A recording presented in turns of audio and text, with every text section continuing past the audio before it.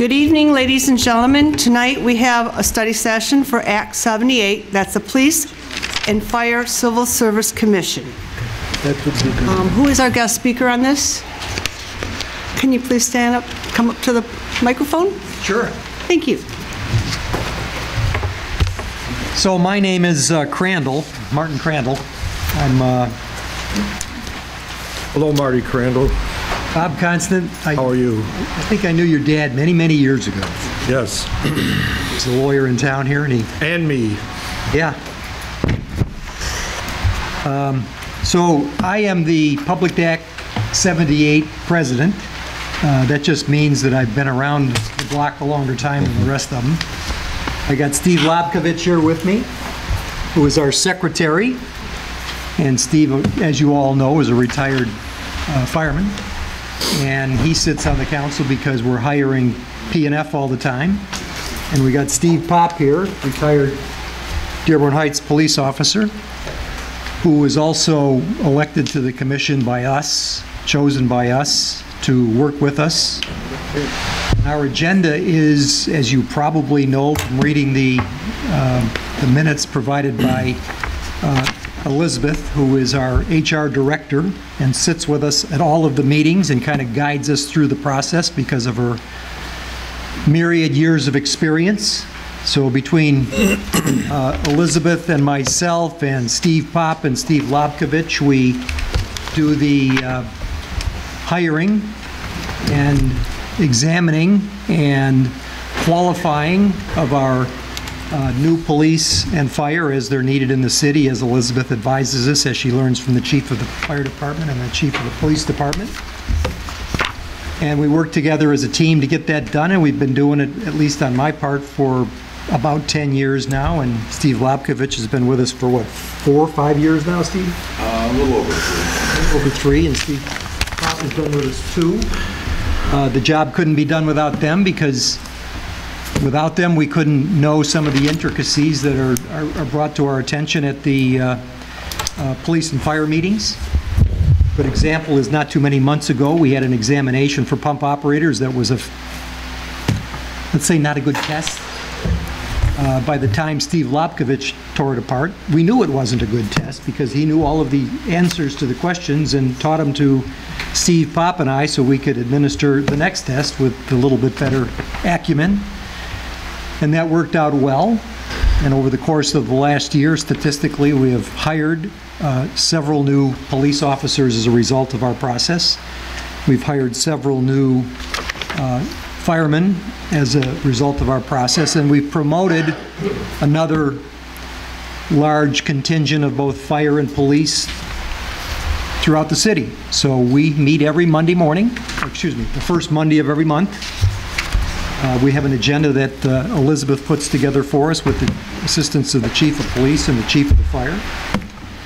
So when the questions come up, hopefully we can resolve them uh, and keep the fire and police fully, I would say manned, but we got to say manned and womened uh, appropriately to keep our forces up to speed, up to notch, and top notch. I think we have a tremendous police department. I think we have a tremendous fire department. It's none of my doing. It's the doing of Elizabeth and Steve and Steve and our chiefs and our captains and our lieutenants and working our way down. So everybody's in the process at one level or another. With that opening, do you have any questions? No. Council members, anybody have a question? Councilman Muscat?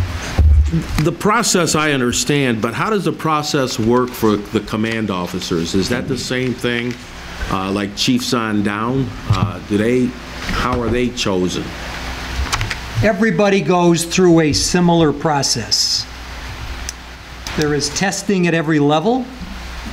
Uh, The test is merit-based. It's very competitive, whether you're applying to be the chief, or a captain, or a lieutenant, or a sergeant, or a police officer, or a first-line fireman, working your way up the ladder.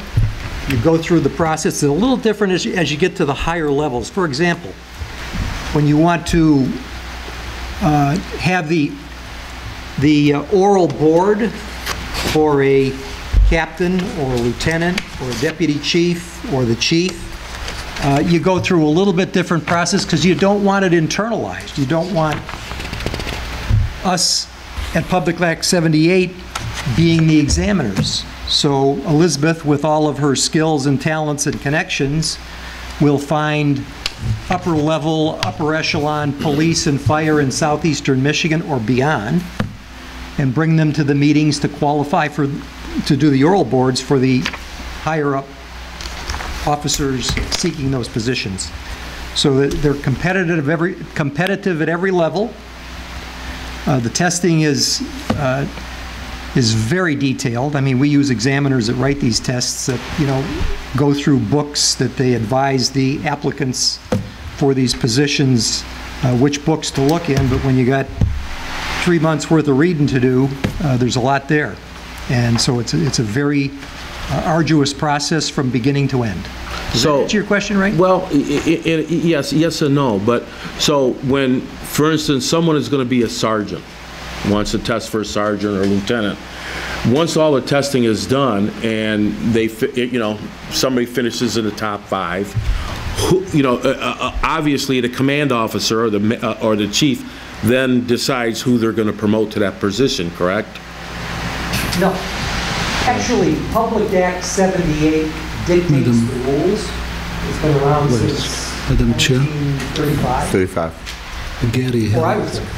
Gary raised his hand. So the Public Act gets into uh, precise, precise standard operating procedures, if you will, as to how you uh, create the exam, how you give the exam, how you score the testing. In other words, let's say 20 people, let's say five people are applying to be a sergeant in the police department. They all take the exam. They all take it on the same day at the same time, monitored by our team. The scores are, are um, evaluated by Elizabeth and the examiner, and then by us. And so you got probably seven people looking at the score. Maybe, maybe more. And then you find out everybody's score. And of those five people, you gotta get above 70% to qualify for the oral. And then you take the oral boards. And at the sergeant level, you're gonna have outsiders brought in from Westland, Wayne, wherever. And they're gonna do the oral boards. And they ask the questions. They ask the same questions of each one. Of course, they're all separate in, in a room alone with the examinee. And I've sat through many of those in here and in the next room. And the process weans out the bad answers or, the- or the bad people. That's It elevates- qualified. It elevates the cream to the top, if you will. And that's the person that gets the job.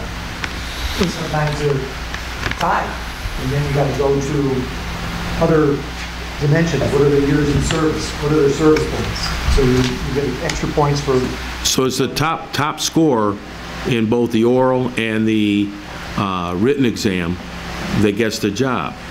So how does that work then for the chief of police or chief of, of, of fire, the fire chief? Okay, at this time, our corporate counsel, Counsel Miotke would like to say something? Yeah, I, I'm, I'm, I'm sorry, uh, Marty. I just want to, I think what, uh, the councilman might be looking at is more along the lines of precisely what happens. With an entry-level exam or entry-level position, the- appointing or, uh, officer who in, is actually the mayor. Uh, That's one thing that I noticed here, sorry Elizabeth, sorry um, Commission. The, the mayor is actually the appointing authority or the appointing officer. And for the uh, entry-level position, uh, he has to choose among the top five. For a promotional exam, including for a chief, there is no discretion. The highest composite score, uh, average composite score is the person who gets selected. Gets certified, and then the mayor has no discretion but to choose that particular individual. Is is that kind of what you were looking at? uh, Councilman? Yes, I yeah. have a little to add to that, if you don't mind. Sorry- Sorry to interrupt, I just wanted to. Yeah. Thank you, Gary. So the commission is charged with establishing an eligibility list out of qualified uh, individuals, whether it's for new hire list, they start out at a, uh, a written test, they have to pass a physical agility test, they have to go through a psych evaluation and several other steps in order to be placed on a list in order of scores. So, you know, let's, let's say for instance, someone scores an 80, he's the top guy, he's number one on the list. Yes, for new hires, the chief can recommend to the mayor, and yes, you're right, the mayor is the ultimate appointing authority. He operates on the recommendations of who we have established in order. When it comes to promotional exams, an individual first has to meet whatever qualifications are in their contract and the qualifications of Act 78 to acquire the next level. So if you're testing, say, for a police lieutenant, there's certain uh, baseline that they have to qualify for before they can apply for the job.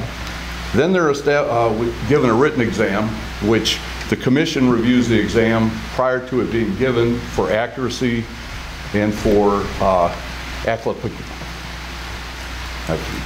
I'm going to stumble over the word I want to use, but it applies to that position, okay? So it's something that, we're not asking about how to pick up garbage, we're asking them how to be a police supervisor here. We establish that, we get a- an accurate test, what we feel is an accurate test. It's administered, they have to pass by at least 70% in order to be in- invited to an oral board.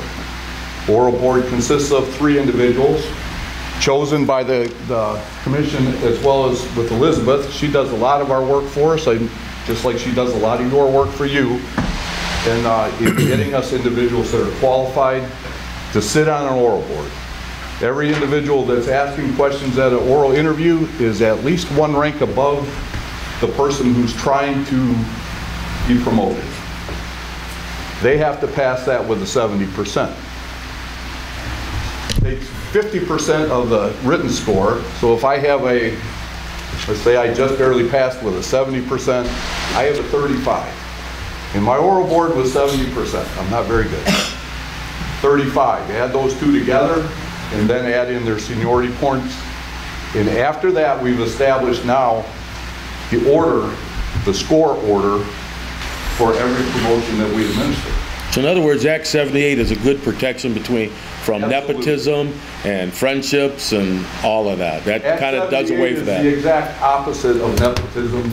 It's the exact opposite of favoritism or good buddyism, whatever you want to call Yeah. it. It's the exact opposite. That's, that This is- ensures This us. is what, and, and this commission, by the way, has been accepted by all three unions that we serve as being the steps that they want in order to promote within their ranks. With- In order to promote within this department. Now, the only thing that would be a little bit different when you get to the chief's level, instead of the three-man oral board, they sit in an asse- assessment center after they've taken their written exam. They go to an assessment center where they get grilled for probably four to eight hours. I, I've never sat in one, but I know it's lengthy and very intense. And then we, we establish an order by score. Add in seniority points, and you get the top dog.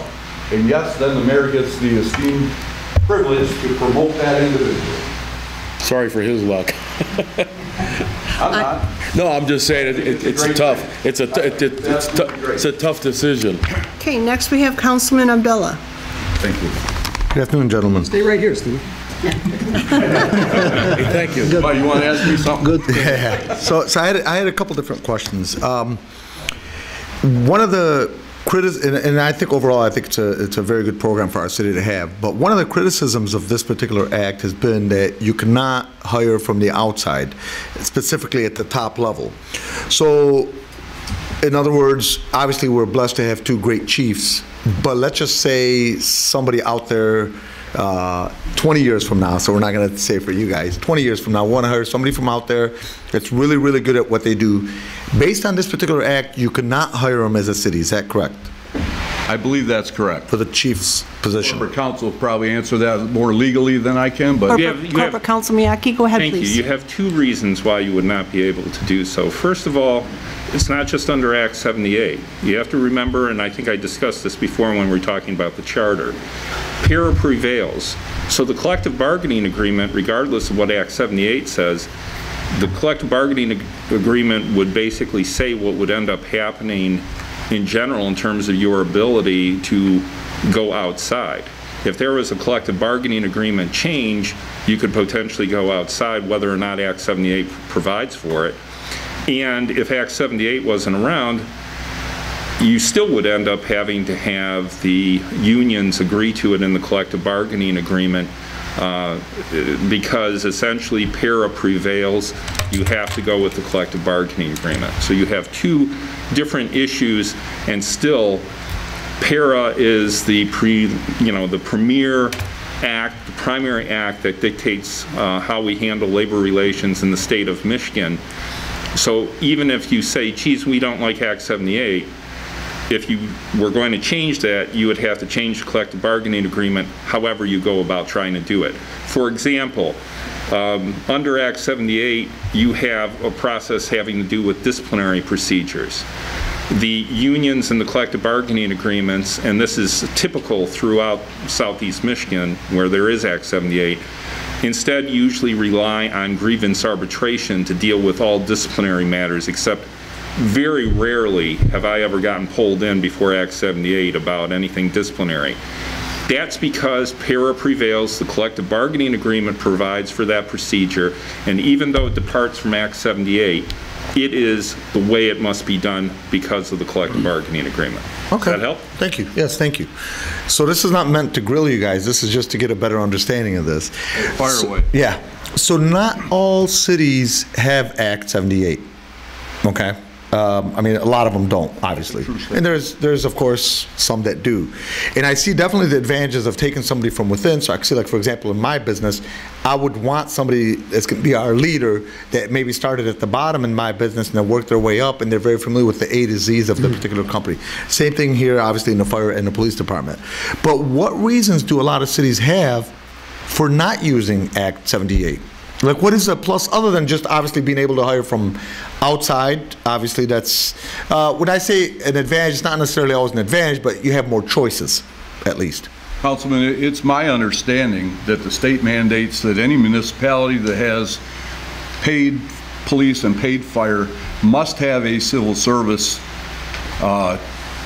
Process. set up, a a civil service system set up. Do you have to adopt Act 78?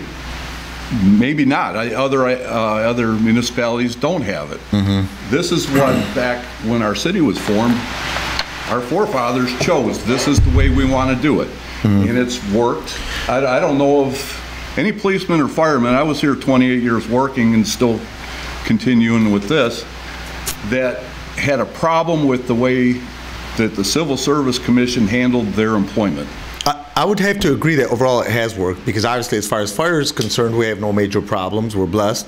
As far as police is concerned, uh, I can tell you consistently, obviously, we're ranked, uh, as a matter of fact, we're top 10 as far as uh, the least amount of crime is concerned, so Well, here- uh, obviously, something's working. I, I think here's the thing about this is, do other cities get to choose who their next top dog is? Uh, I mean, example, Detroit. so. Detroit obviously doesn't But- have it. But when you look at the way Dearborn Heights operates within the police and fire and within this commission, we almost guarantee you the best candidate you can have who has came through your whole system from bottom to top.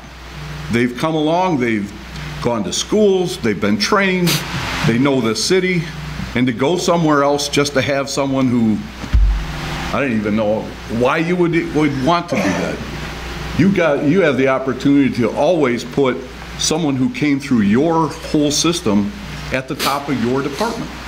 Doesn't make much sense to me. I'm having a hard time understanding, I mean, I get, you know, having a study session and learning about how the commission operates, all that stuff, I think that's fantastic. I, I have a little trouble with the mo- uh, motivation of why we're looking into one of the uh, divisions within the city that actually functions very well. and has for, for a long time. Council Chair? Council, I'm sorry, Corporate Counsel Miotke? Uh, Yeah, just, I'm I'm sorry, Steve, just one correction. You don't have to have the civil service. Actually, if, uh, if- and the city has Act 78 by virtue of a referendum that ended up being adopted many years ago, but if the city did not have Act 78, per the city charter, there would be another form of civil service, the general government civil service, would still apply to all employees. So civil service is particularly prominent because in the 1930s, there was horrible turnover in state government. It was it- it- because of uh, how bad things were, like 300% turnover. And so one of the ideas of having civil service is to have stability and have people not being selected based on something other than their merit. So that's why it's been adopted in so many communities. And some of the communities that have gotten rid of it, for example, Highland Park got rid of Act 78 a number of years ago, even though it was one of the first communities that had Act 78. I don't necessarily know that you would want our labor and employment matters handled in the same way, um, you know, where there's a potential for decisions being made based on, you know, political factors and favoritism and other such things other than merit. Are, are they not tested? If, so if a city does not have Act uh, 78, are they not tested? I mean, I presume they would They, still be they tested. They would have to be MCOLES certified in order to be police officers, but they would not necessarily have to go through any sort of merit-based system to end up being hired. And then that makes it a potential decision of whoever happens to be in power at that time. I've seen situations where you know, my private practice, I'm not speaking here, where you see people who've been very active in campaigns who get elevated to very high positions, and then after that particular official is no longer in a high position with city government, now everyone's trying to figure out a way to get rid of him or her. So that's a cautionary tale. No, just to clarify, without Act 78, presuming the city did not have it, let's use that presumption, the mayor has a right to hire anybody, that- let's, let's use police, for example, anybody that's a police officer without testing and make them chief? No. Without Act 78, you would still have to, first of all, go to whatever the collective bargaining agreement would be. That process would end up being in place regardless of whether or not anyone got rid of Act 78, okay? Assuming you got rid of Act 78 and the collective bargaining agreement said, we'll do whatever you want, then you would end up having to go through general government civil service per the city charter. Assuming you got rid of that, then you would potentially have whatever process came, you know, you have in terms of hiring. Of course, that's hard to think about in terms of hypothetically, because we've had general government civil service in Act 78 since, as far as I can tell, the 1960s. So, Okay. Thank you very much. you're welcome. Thank you, gentlemen. Councilman Constant?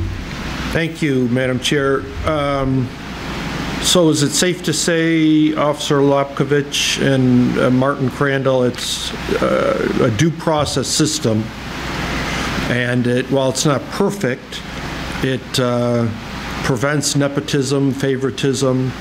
Um, You know, I I can remember when I was state representative, um, the city of Inkster hired Hilton Napoleon, who was Benny Napoleon's brother, then the caretaker mayor, it- they had a city manager, was elevated to some position, and there was a lot of stuff in the news, and, and and then after that mayor was gone, they had a new uh, chief, so, so, like I say, it's, it's, it's not a perfect system, but I'd like to ask, what's not perfect about it so far? So It's, on it. I, I say I it's mean, a perfect perfect, system. You know, it's funny, my father, who's 95, who was on the Charter Commission, says that John Canfield, who was then the supervisor, wanted to be able to pick the chief and pick his friends, and they had a presentation about Act 78, and they instituted Act 78, and the supervisor who became mayor wasn't particularly for it. I can tell you in the 10 years that I've been here, it's perfectly apolitical. There is no political influence on us, Madam Chair. what we do. Councilman Baydoun? Thank you so much, Madam Chair. I just got a couple of questions. My first question is, ki- do we know how many other cities have adopted Public Act 78? We- We don't know that? I don't know that. I, I work here. I worked here a career, and I'm continuing my service now. I don't know what every other city has, no. Okay. Thank you, Madam Chair, that's all. Thank you. Madam Did Chair, you want, Councilman Abdul Haq? yeah, you leave the best for the I sure did. last. Okay. Uh, First, why do you think we called you here to ask you questions? Because you made, I made the speculate a lot comment. of things. I don't want to You made the that. comment that there is a motive. What do you think the motive for city council who approve, who approve your uh, money for your commission, asking a question about what you do in the city? Oh, I, I think it's, it's very fair that you ask questions about what we do, That's because exact- you are spending money there. Uh, But I don't know what your driving factor is other than that. If, if there's something else, I'd sure like to know. We really like to learn about every division, everything happening in our city, because I believe personally, watching the city council for 17 years, hmm? that the previous administration, and sorry to bring it back, never paid attention to what's going on in the police department or the fire department, especially that the new hires, they deserve a lot better than what they get in and they deserve better benefit than what they done. Madam Chair, this is a matter of opinion. This is nothing factual that this man is, is speaking Okay. at this moment. Can you tell, I'm going back to facts. How many black officers we have in the fire department, in the police department? How many I times think- you I think before you get to that point, Yes. you would have to ask, how many black applicants have we had in the police and the fire department? We don't vet against any race, religion. It's illegal for us to do it, we don't want to do it, and we don't do it. Do you have, Ju- If, if we don't have applicants that come through the door that are minorities or anybody, women that want these jobs, we can't create them. There's only one creator. Do we have list for the last five years, how many applicants applied for police and fire? Sure. Probably. You have it? I would like copy of it, please, and I would like to see if they took test, what their scores were on the oral and on the written, if that possible. Uh, Why do you think Act 78 is better than civil service test, like we have a civil service for other, you know, government jobs? Why don't we have only one? Why do we have to have two? I, to me, it seems like the function is the same. What is the difference between the two? I'm not that familiar with the general government civil service and their, their dealings or, or procedures.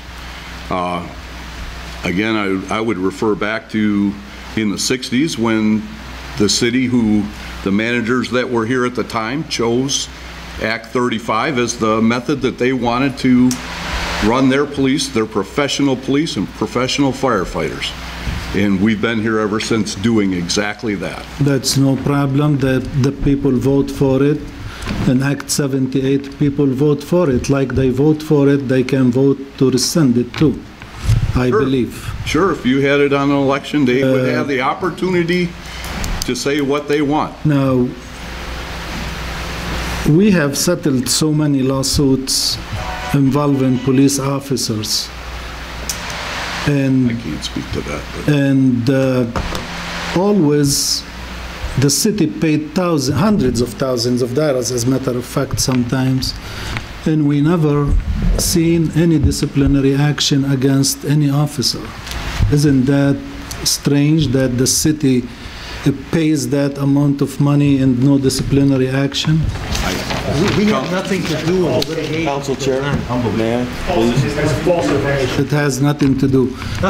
You do the, uh, the suspension, the promotions, when you look when you look Madam at Chair. their file, Okay, uh, Corporate Counsel, go ahead, please. I would note, uh, if I may, uh, Councilman Abdul Haq, that we would not necessarily be privy to all of the disciplinary action that would end up being imposed, that much of this would end up being uh, done administratively, and that just because we settle lawsuits for certain amounts, it doesn't necessarily mean that there's always merit to that lawsuit. Sometimes we do it because of risk that's involved, and we want to make sure that we don't have a greater risk of something being problematic. For example, if, if evidence is not found, or there's some problem with a camera or something along those lines, and an inference could end up being drawn in a negative way, that's something that we need to end up avoiding. So while I respect your point, obviously, I, I think it's a little, uh, uh, a little too aggressive to perhaps take from the settlements that we have that that means that there is a problem with the way the system has failed to function. Moreover, Act 78, as I stated before, the collective bargaining agreement generally, the collective bargaining agreements generally uh, handles anything having to do with discipline. So whether or not you have Act 78 isn't going to end up making a difference with that because essentially the grievance arbitration procedure in the collective bargaining agreements takes priority to what is in Act 78. And like I've said, I think I may have attended two, probably in 1990, I ended up attending something having to do with a disciplinary action. Other than that, every time, it's usually done through grievance arbitration procedure. So, um, I'm sorry to go on, but I hope Mr. Miotke, I, I know the union and the agreement is there, and I understand probably uh, it supersede Act 78. Yes. But I want personally, since we have strong mayor in the city, our system, that's how it goes. I would like to see that the mayor, whoever it is, has the power to bring the best of the best to our city to be the chief. I would like to have that power at the hand of the next mayor. That's why I brought this in front Sure. of the And city Councilman, council. can I ask you one question? Yes, sir. How is it you would go about finding the best of the best when we go through the process to give you the best of our best? We always have terrific people outside of the city. We don't have to go to a small pool, which is in the city. Nothing And who would against decide who anybody. the best of the best is? There should be some exam through civil service or whatever uh, system is. Okay? Bring it right back to us. Yeah. No, n- not necessarily to you. Uh, What I'm saying, I don't need double uh, commissions. I need one commission, one civil service commission. I don't see any need for Act 78. That's my opinion. And that's why I want to raise it in front of you, that Act 78 shouldn't exist in the city. And there should, Okay, well, Okay, Corporate council. really, I don't know you guys, I don't know any one of you, and nothing against any one of you, that's apparent. okay? Corporate Counsel Miotke would like to speak. There is election, you can come out and vote as you like. Corporate Counsel Miotke would like to speak at this time. Go ahead, Council Chair, please. thank you. If the issue is purely about the promotional path for chief, then that issue would have to end up, because it has to do with the promotional opportunities of those that- who are in a lower rank than chief, then that issue would have to be negotiated with the unions to end up reaching that. So if your issue is with regard to that issue, namely how the promotion is done, then the most direct way to deal with that is through the collective bargaining uh, process and negotiations, as opposed to anything having to do with Act 78. I agree with you, Gary, and that's the next thing we want to do is basically to make sure that the contract negotiated will do the right things for the right people who are working in the city. I- Okay. Next, we have Councilman Muscat. Yeah, I, I mean, I came here to kind of learn the processes, because I really didn't know the complete process, other than I know it- it's, uh, I've heard of the civil service, and you went in front of boards and you took a test. So you guys enlightened me quite a bit, and it sure seems a lot better than what it sounded before I came in here. Okay, so um, I think it's a good way to, to uh, protect all of us and uh, choose the right person. I think you got, you know, it really makes sense to me now of why it really happens. So uh, kudos to you guys. Thank you, sir. I speak next? You know, I also have to say the same thing. Before I came here today, I really wasn't sure what Act 78 was about, and I do agree with what you're saying. You're having somebody go up the ranks. Um, You know, when I started working as- at a young age for a company, I went up the ranks the same way. It's, it's part of learning the whole company and everything about it. And to just start at the top doesn't necessarily mean they're the best, because they may not understand what has evolved in the city over the years to make it what it is today. You know, and, and that's, and that's the way it worked with us when, when, in our jobs, we had leaders and we have what they called super leaders. And, and it got to the point where bosses were making their friends the leaders and super leaders. And it, and it was tough, okay? And, and it just, and, and being in the union, it wasn't very smart to have something like that. So an oversight committee, which is what I'm gonna call you guys, an oversight committee, make sure that that, that doesn't happen. Yeah. Okay, where my buddy's gonna get the job before the guy with the high score gets it. Your okay? ability to And- move up. Yeah, your I also- ability counts. Continue to work at that department. Right. Your know, ability counts more than everything, yeah. Right, because like I said, when I was with at and T, in order to transfer to a different department, you had to take a test. If you flunked the test, you didn't get it, so there was no favoritism. So I understand exactly what this is about. Um, Councilman Abdullah? So just a couple notes on here. Um, I mean, I can see the advantages, of course, of sometimes of going out, but honestly, I see a lot more advantages to Act 78 because you're getting somebody that's experienced in the city, okay, that's been here 20 years, 30 years, 40 years, whatever it happens to be, which I think is a huge plus, knowing the city, whether it's a fireman or a police officer. And, and, and I do see where the council, where Councilman Zohair Abdul-Haq is, is, is coming from as far as like other options available. I do see that, but at the same time, more important than that is I think local experience, I think is extremely important. So if we got somebody as a fire chief or a police chief, and they're from, you know, DC or Los Angeles or what have you, they may be great at what they do, but I think they're going to be clueless in, in, in Dearborn Heights to be able to do it well.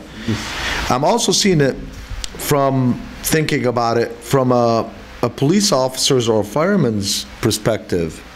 If I'm a fireman and I'm going to give this city 20, 30, or 40 years, I'd like to be one of the main people that's considered for that you know, uh, promotion. So if I did not think that would be one of the people that would be considered, when I say I, I'm talking about people in general, would probably think, well, I have no opportunity at a chief here or deputy chief, then I'm out of here. Therefore, in that particular case, we're going to lose potentially well-experienced, well-dedicated, and uh, potentially great people to other cities.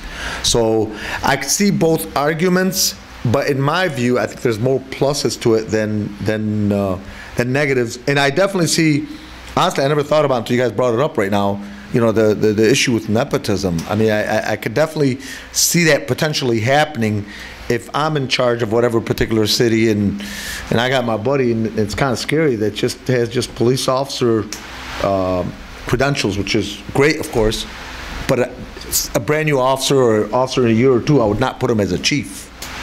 So that's one of the positive attributes of this, and that's it, thank you. Okay, Next, I have Steve Pomp wants to speak. Well, let me just add one thing there, Councilman, to the nepotism thing. And this is just an example of how this commission operates.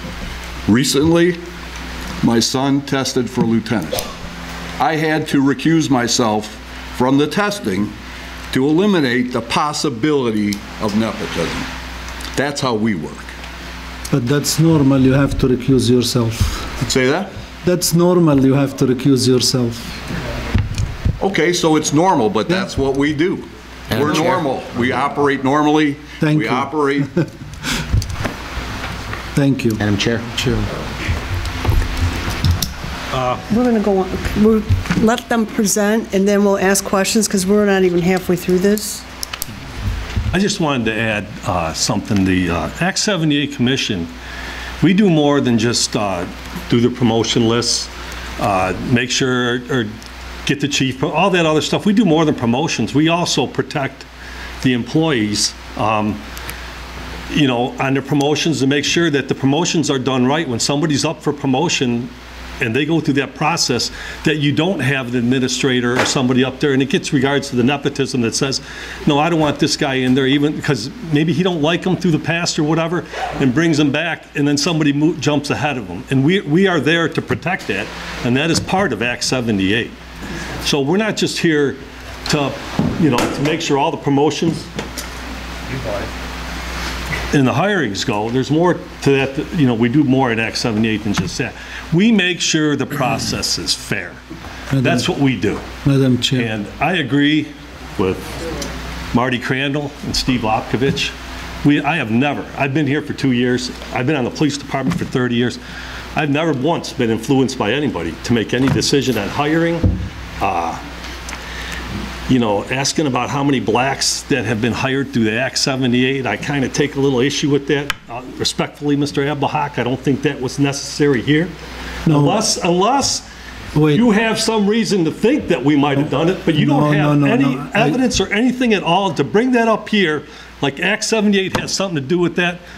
Uh, I'm sorry, I had to speak to it. You misunderstand what No, I I said. didn't, I understood All right, exactly all what right, you said. Point of order? Madam Chair. Okay, at this I- time, I just want to ask a question.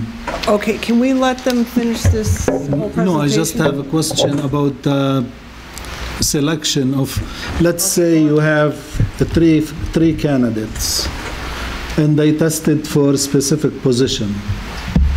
And my understanding, you take the top three, or you take the top person, and he is automatically promoted. Number one is number one. Okay. He's offered the job by the mayor. So the mayor has the final say. He's the boss, yes. Thank you. Madam Chair. Can we finish this presentation, please? Are you done with your part of presenting, or is, can we go to questions? I, I think we're done. Okay, then we'll go to questions. Chair. If you have questions, that's fine, I think oh, we're done. Councilman Baydoun? Yeah, I believe, uh, I've been done. You know, speaking with Phil earlier today, he said he had some things that he wanted to present, so before we He start needs that to over. Ask for recognition. What's that? Are you asking for recognition? I raised my hand, like, Yeah, I that doesn't follow make- you. Yeah, you have, you have to say council chair. That's a procedure. So go ahead. Council Chair, I was- There. I'm sorry, I don't know And who then I was speaking. recognize. So, I, I, are you speaking with me or are you speaking with the mayor? I'm sorry, I didn't know. I know. think the mayor wants to talk. Okay, go ahead.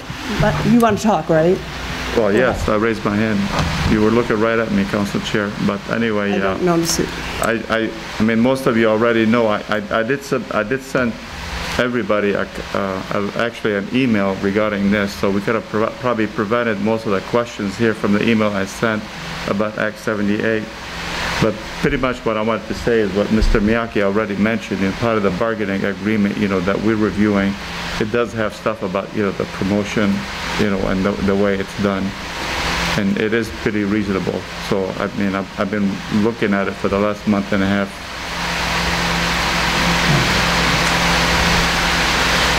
Madam Chair, Councilman Baydoun? thank you so much. I just wanted to recognize Phil Hall's in the room with us. He did want to present, he had some information. Can we give him some time on the floor? Sure, go ahead. Thank you.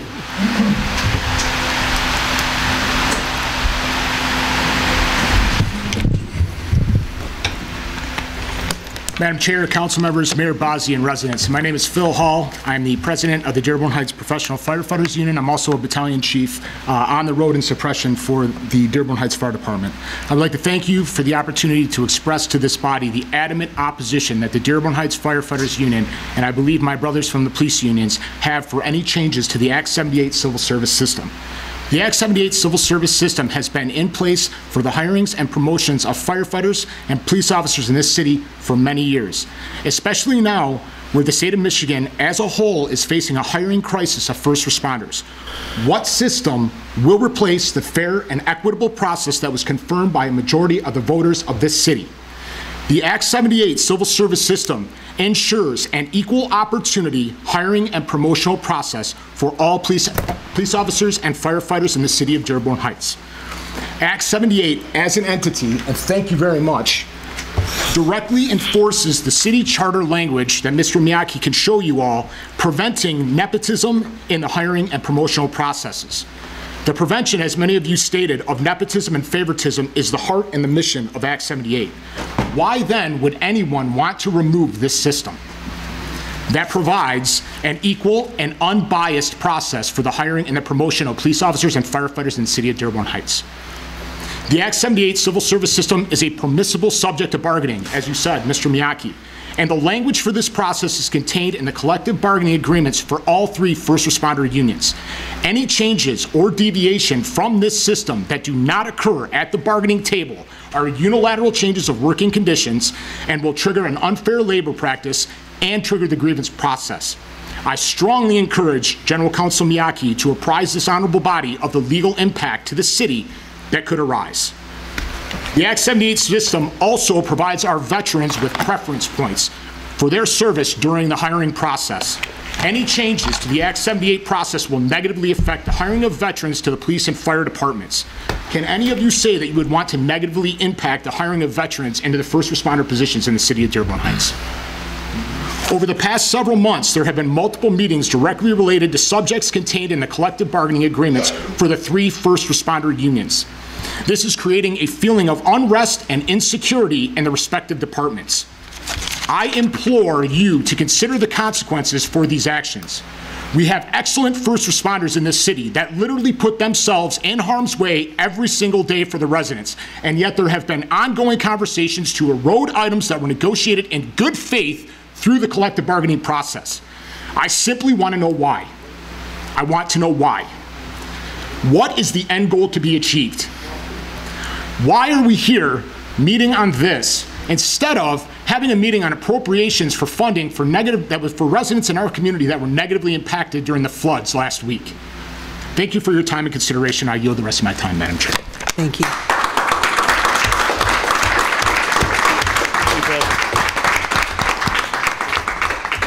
Councilman Constan? Yeah, and just a comment, I mean, this council debated and uh, voted that our dispatch, we're going to have our people here, we want our dispatch here, people have campaigned, I kept the, the, our uh, dispatch here in Dearborn Heights, it's, you know, the, the due process, the civil service provisions in, in Act 78, it's the same thing. Thank you. Any further comments from the council table? Madam Chair, I got one last question. Councilman I'd Baydoun, also go like ahead, hear from please. the- What's that? Said, Councilman Baydoun, go ahead, please. Thank you so much. I'd also like to hear from the mayor, just to kind of see if his input and what he thinks of this. I know he spoke a little bit about it, researching it, but, I mean, at the end of the day, I- I w- I would like to hear from the mayor. That's okay. No, I mean, I, I- for that, since, since I was appointed, I worked very closely with both the fire department and police department, and uh, it, it is disheartening to see, you know, a, a lot of discussion. And I know we've sent a lot of, there was a lot of email traffic, you know, uh, that was sent, you know, the previous topics that we dis- discussed about the pension. But it, it is disheartening when you, uh, when it keeps be brought up. I mean, this is their livelihood, and we already discussed it several months ago about, you know, the pension, about the pay. You know, these guys, you know, they take pretty much pay cuts to come here because of the benefits of city of Dearborn Heights.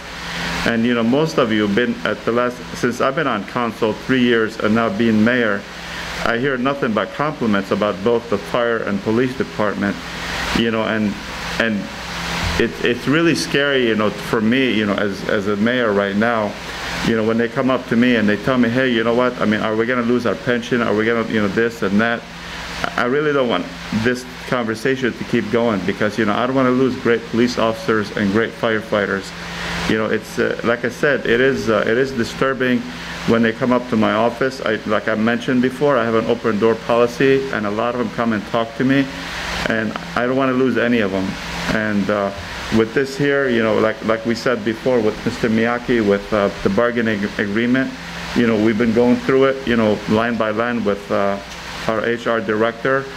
And, I mean, the, the promotion process is very reasonable. And uh, again, you know, these guys are amazing. I've seen nothing but the great, the greatest things.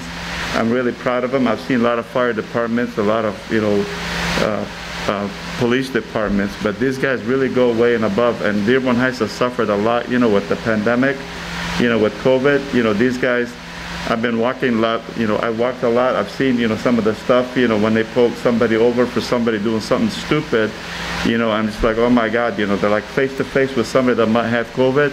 Our first responders, you know, they're putting somebody in an am- ambulance with, uh, that has COVID.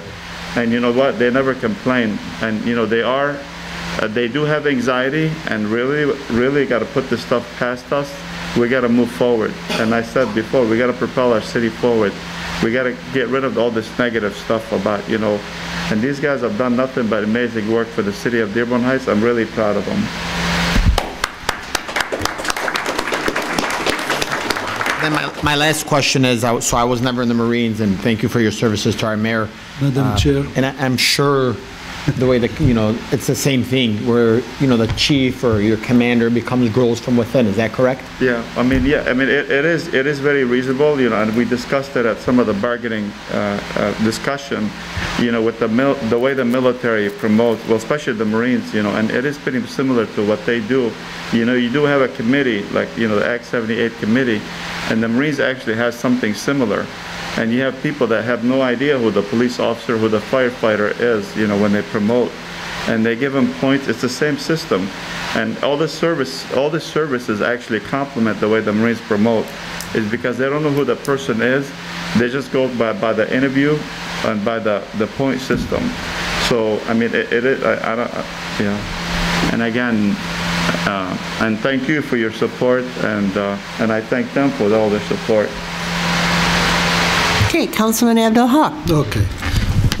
Uh, Mayor, you can, I believe there is the OPB, OPEB E right there behind you, Gary. Can you read that number, how much liability we have for the gentleman here? I don't know that. 168,693,439. I fought for you to have the Fund 115. I voted yes on everything for the police and fire.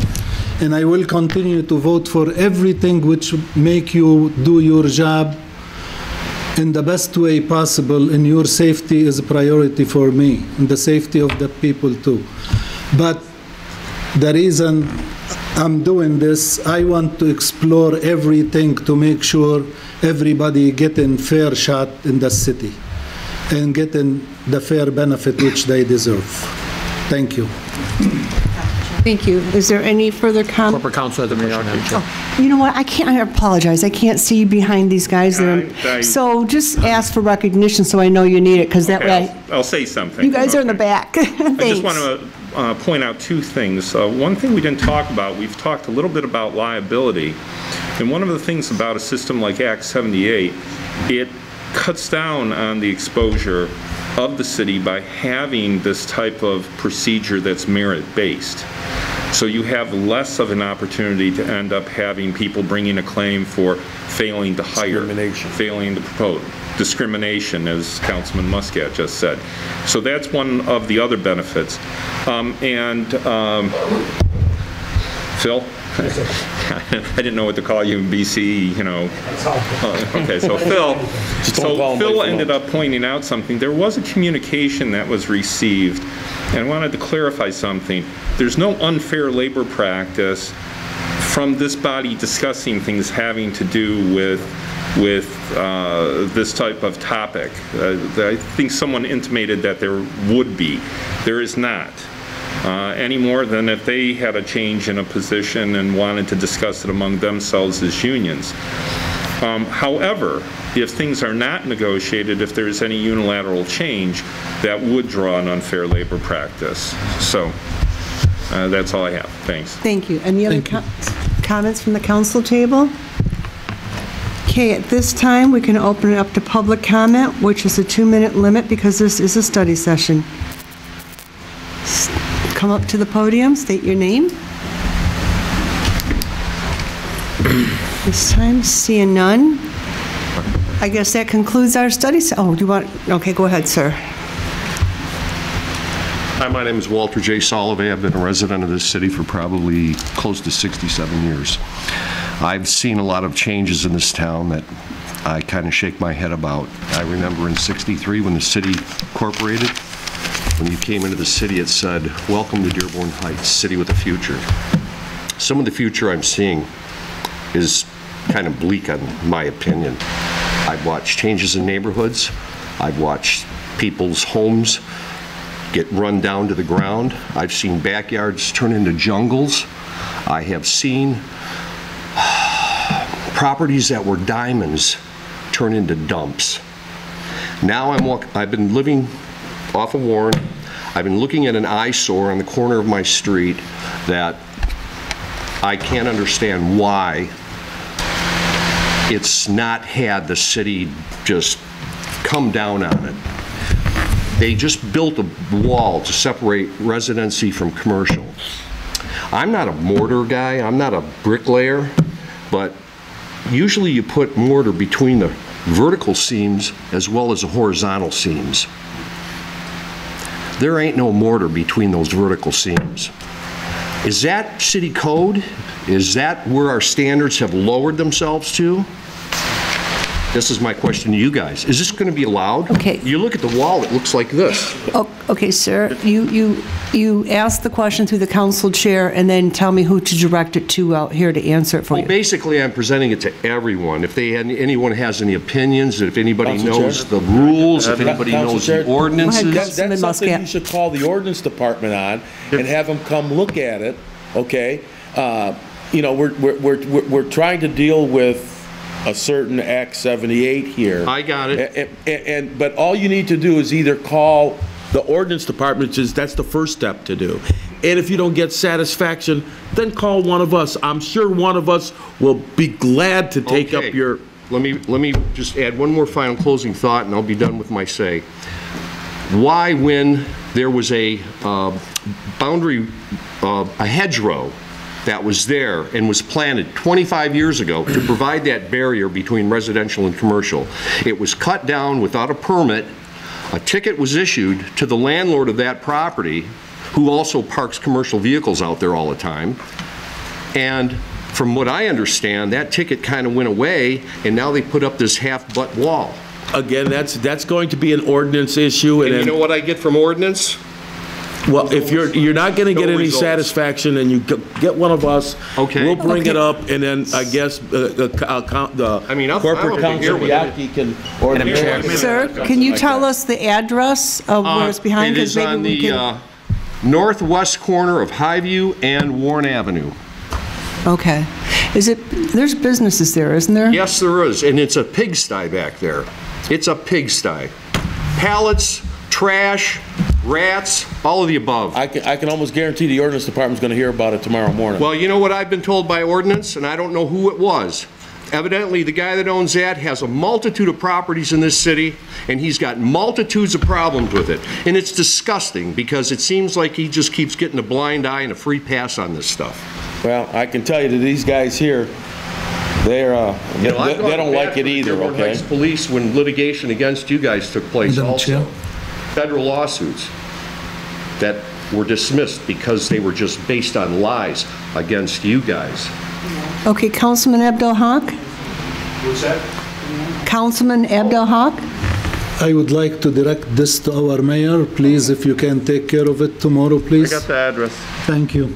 Madam Chair, Madam Chair. I believe she, uh, You have to say Madam Chair, because I I didn't say can't, Madam Chair. I got the, no, i- if you want to talk, whoever Oh, has- okay. wants to talk, that's the rules. Because I can't see Councilman Constan is right here, and Councilman Muscat blocks Mr. Miotke sometimes, so. Okay, Councilman Abdullah?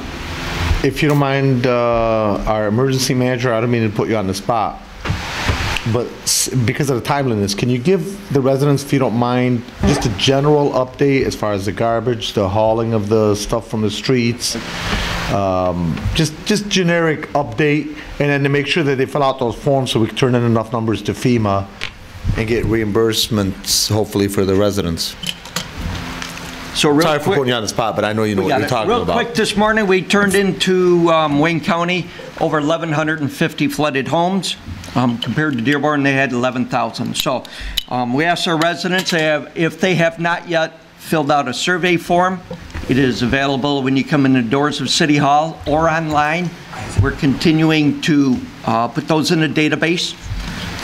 Like I said, we submit everything to Wayne County. They're moving it up the ladder to the state, and then it'll go to the um, federal um, side.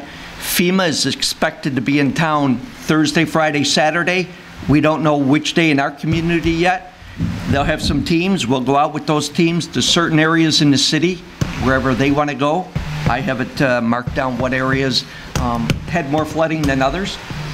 And uh, What about garbage and, and extra pickup from, from the flooding? So with the garbage, GFL, as we all know, they have the contract with our city, Dearborn, and a few others. So um, the mayor has uh, been working with them. We've got them picking up the trash. They started Saturday, and they got a lot of, Saturday, they did Monday's pickup. So what they're doing is they're getting um, pickup, like Monday's trash pickup, they got Tuesdays, they got, today they're working on Wednesdays. No, I'm talking about flooding extra stuff from people's basements. flooding stuff. That's what they're picking up. We still ask our residents to put everything at the curbside. GFL will get it. There, we're not doing any compost pickup this week. So don't, uh, our residents, don't put out any um, grass, any leaves, anything like that. We're using those trucks to pick up the flooding items at the curbside. And it doesn't have to be on your garbage day, from what I understand, is that No. correct? No, they're coming by, you know, they're still doing the regular garbage day pickup. Plus, in addition to that, they have some trucks doing the flooding items at the curb.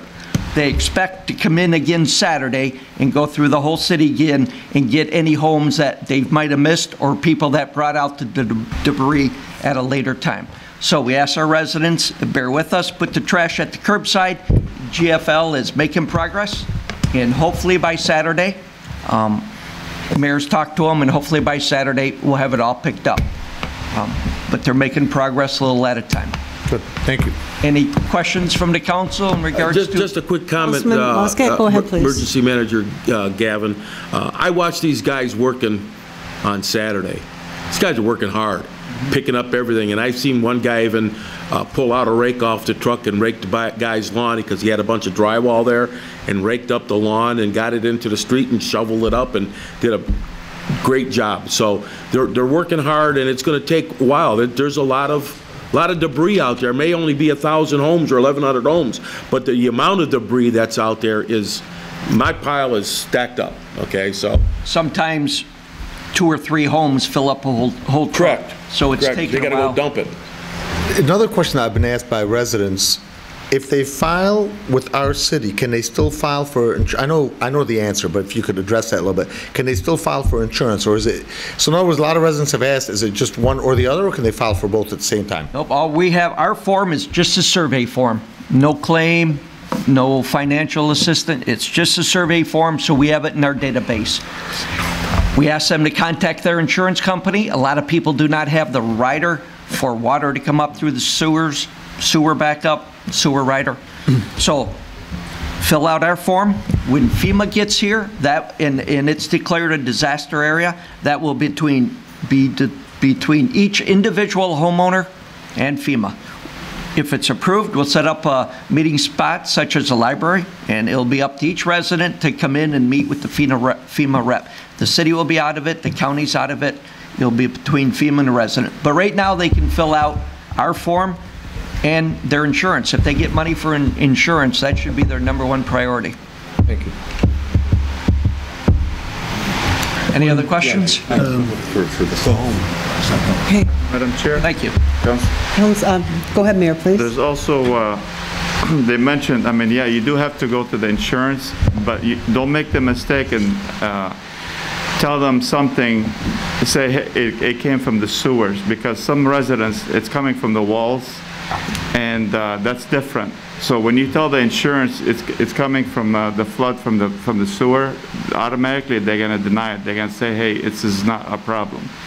So you got to make sure when you do uh, call the insurance company to say that, I mean, obviously you got to tell them that what happened, but if it's coming from the wall, make sure you specify it came from the walls or from the door or something, because some of the homes that uh, uh, Mr. Gavin and I, we've been going through the whole week, you know, visiting homes, uh, a lot of the water didn't actually come from the sewers. It came from the, uh, from the basement windows. Like there's one home that uh, the window shattered, and it's coming from the basement window. That's how the basement flooded, or from the entry doors. So you gotta make sure that you're, yeah, for insurance purpose. Flooding insurance, and then there's uh, A storm, yeah, it could be a storm. There's or it could be completely different insurances. So yeah, make sure, because most people are covered, but the insurance, are- right away, they deny it because it's, they think it's coming from the sewer. Okay, Corporate Counsel Miotke? Uh, Yes, just very briefly, if you have insurance that may cover this, you should file a claim with your insurance company, and if you've ended up having a problem, uh, you should fill out the city survey form so that you're potentially covered with respect to FEMA. Thank you. Thank you. Madam Chair. Councilman Abdul Haq, go ahead, please. I have a question for our mayor. Can you tell the residents what have we done so far as a city and as county, basically to relieve this problem? And if there is anything in the work through the Congress to get funding to resolve this problem once and for all, for all our communities? Okay, so the day after the storm, we had meetings. They had an emergency meeting with the county, uh, state, and they also had uh, state police, uh, congressional delegates, uh, a lot of uh, senate senators were online. So they're doing everything they can uh, to help the residents. So two things. One is with the survey, uh, what they want to do is they're trying to gather, so the, uh, all the different cities, they turn in their assessment to the county. So in turn, the county takes these assessments with all the homes. We turned ours this morning. Even after we turned it in, we're still getting, we got an- about another 100 or so. We're getting like 100 to 200 emails a day with just assessments. So the county takes those and they give them to the state. The state compiles them. It's not just a Wayne County issue. So there's other counties that were involved as well, or they were affected. So the state puts that together, and the state has to advocate, you know, they go through the federal, as Mr. Gavin mentioned, so they're trying to declare this as a national uh, disaster so they can get FEMA money. So right now, even though it was declared a state of emergency to the state, we still need the federals to declare it as a federal uh, disaster so we can get the money from FEMA. So on another, the second thing is uh, there was something that was put on by that, uh, by both Congresswoman uh, uh, Dingell and Congresswoman uh, Rashida Tlaib, uh, trying to get funding to do more research, investigation on especially the Ecorse Creek. So I did see something that was put in place, and they did ask for funding.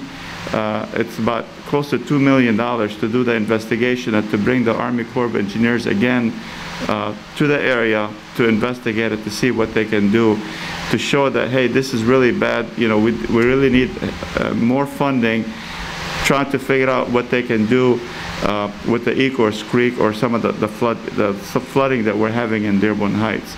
So they, they, they are working on it. You know, I've seen a lot of email traffic, you know, through our congressional delegates. And, you know, even Senator Peters, I've seen something just like a week ago. So it's getting a lot of attention, national attention right now with, from state, uh, U.S. senators, both uh, Stabenow and also Peters. So it is getting momentum right now, trying to get funding, so they are listening. And uh, so we, we have good advocates trying to push for funding for trying to figure out what we can do uh, to to resolve this flooding issue. And our city engineers actually also is on the ground uh, looking at some issues. He's been inspecting uh, a lot of the sewers uh, throughout the city.